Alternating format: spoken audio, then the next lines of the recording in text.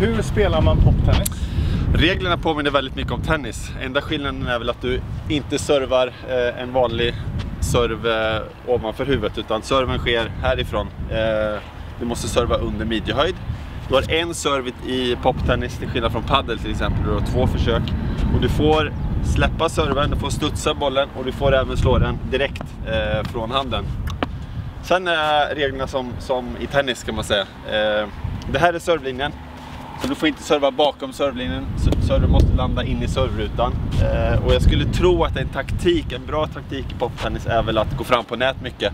Försöka få övertag eh, och avgöra fram på nät. Men eh, poptennis påminner väldigt mycket om tennis. Samma typ av teknik. Eh, du har inga glas, till exempel som i paddel, så så fort bollen går förbi dig så har du förlorat bollen. Till skillnad från paddel då bollen kommer tillbaks. Så att det är väldigt bra insteg till tennisen.